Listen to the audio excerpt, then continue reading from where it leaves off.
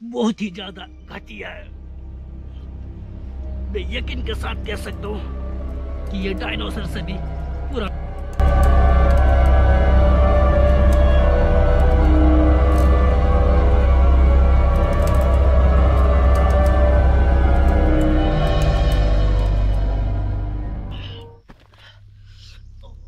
मेरा नाम है बियर बोल्ट और आज मैं आपको एक भटके हुए सैलानी की तरह बताऊँगा कि हम खुद को ऐसे बिहार जंगल से ज़िंदा कैसे बचा सकते?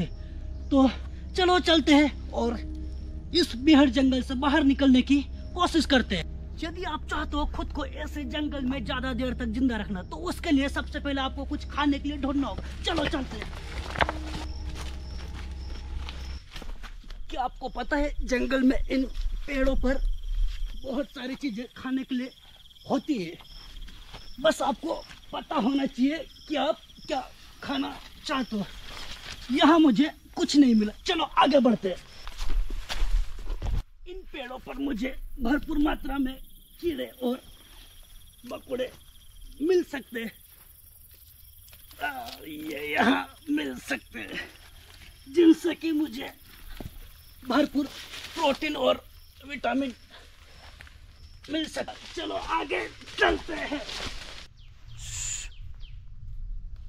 लेकिन आपको यहाँ पर खुराक ढूँढने के दौरान थोड़ा सा सावधान और सतर्क रहना होगा, क्योंकि इस घने जंगल में बहुत सारी प्रजाति के सांप पाए जाते हैं। और उन्हीं में से एक स्नेक है जो कि बहुत ही ज़्यादा दुर्लभ और विचित्र है।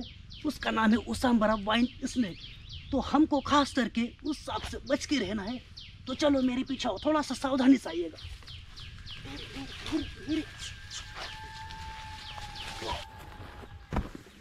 उसाम्बरा वाइन स्नेक हवा में लहराती हुई एक पेड़ की डाली की तरह दिखता है।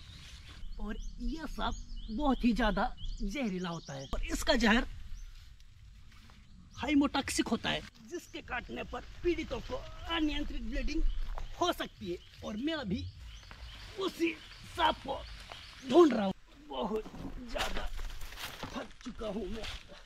सांपों को प्याज और लहसुन की तीखी गंध बिल्कुल भी पसंद नहीं है। रुको, मैं देखता हूँ।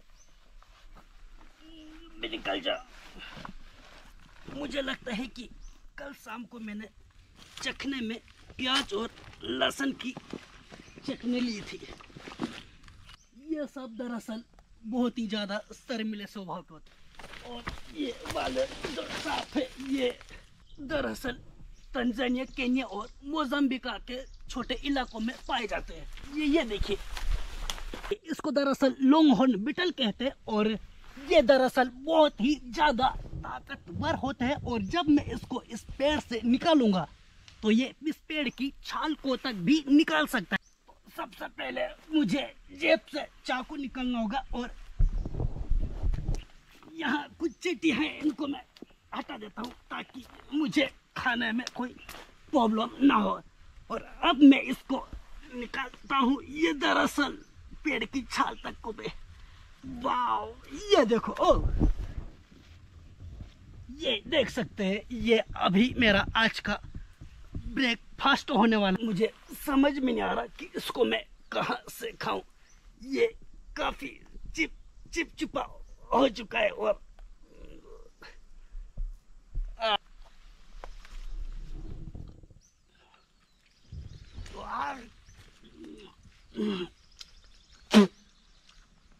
दरअसल इसका टेस्ट बहुत ही ज़्यादा घटिया है। मैं यकीन के साथ कह सकता हूँ कि ये डायनासोर से भी पुराना लॉन्ग हॉर्न बिटर था।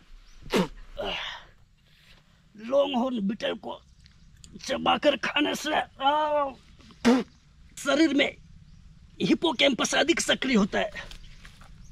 हिपोकैम्पस मस्तिष्क का वो भाग होता है जो मनुष्य की याददाश्त बढ़ाने में अहम भूमिका अदा करता है। ठीक है, अब मेरा नाश्ता हो गया है और मुझे अब जल्दी ही इस बिहड़ जंगल से बाहर निकलना होगा। तो चलो, चलते हैं। क्या आपको पता है, इस जंगल में लकड़बग्घों और लंगरों के बीच एक महायुद्ध चल रहा है? इसका स्वाद मुझे परेशान कर रहा है।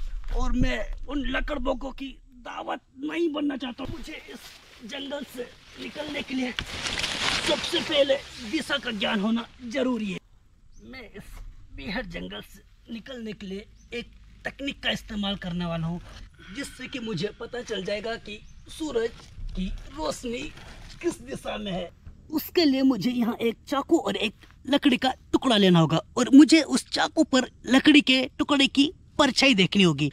देखते हैं परछाई दिखती है या नहीं, या यहाँ शायद हल्की है और इधर देखो, इधर इधर चलते जी हाँ देखो, ये देखो, शायद यहाँ पर, ये देखो, आप देख सकते होंगे, शायद यहाँ पर परछाई गहरी है।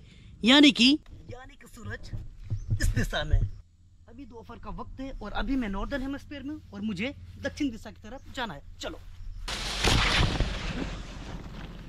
अगर यहाँ मुझे कोई नदी मिल जाती है तो मैं उस नदी के रास्तों के सहारे कहीं इस बेहड़ जंगल से बाहर जा सकता हूँ किसी खुली जगह पर। वहाँ देखिए, वहाँ शायद पानी हो सकता है। चलो, चलते वाकई में यहाँ एक बहुत बड़ी नदी है और ये नदी मुझे इस रास्ते से, इस बिहार जंगल से बाहर निकालने में मेरी मदद करेगी। तो चलो, चलते सबसे पहले हम अपने शरीर की गंध को थोड़ा सा दूर कर लेते हैं। आ जाओ। Ah!